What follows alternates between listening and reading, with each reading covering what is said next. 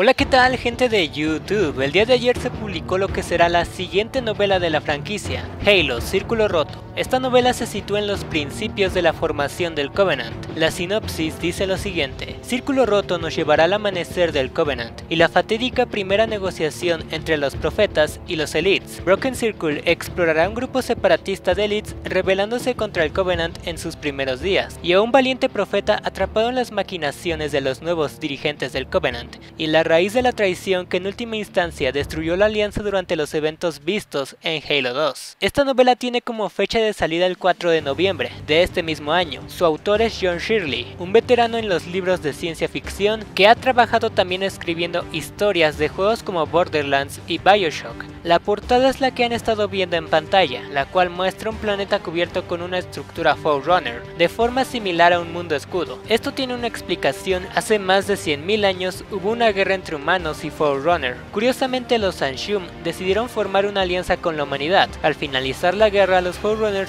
determinaron que los Anshum eran una especie peligrosa. Para evitar que surgiera una nueva rebelión, los Forerunner crearon los escudos de cuarentena, estructuras enormes parecidas a las esferas de Dyson. Estos escudos fueron puestos alrededor de los planetas colonizados por los profetas. De esta forma era mucho más fácil mantener vigilados a los profetas. Ahora, continuando con la novela, también se aprecia una variante del crucero Covenant, con una forma un poco diferente. Podría tratarse de los primeros modelos del crucero Covenant. Las últimas novelas de Halo han tenido una conexión con la saga del reclamador, adelantando algunos detalles de la historia y planteando algunos problemas que tendremos que afrontar en un futuro, por ejemplo la trilogía Forerunner. Básicamente, esta trilogía te explica cómo el didacta terminó encerrado en Requiem, la razón de su odio a la humanidad y cuál podría ser su futuro dentro de la saga. También está la trilogía Kilo 5, que explora los conflictos que ha tenido la humanidad al término de la guerra, mostrando el lado oscuro de la especie y los secretos que han ocultado los últimos años. Esta trilogía básicamente nos dice que la ONI será un problema enorme al que John tendrá que enfrentarse tarde o temprano. No han dado muchos detalles acerca de esta nueva novela y por lo tanto no está asegurado si se trata de una novela independiente o el principio de una nueva trilogía. Sin embargo, la misma sinopsis te explica que esta novela explorará el origen de la insurrección Covenant,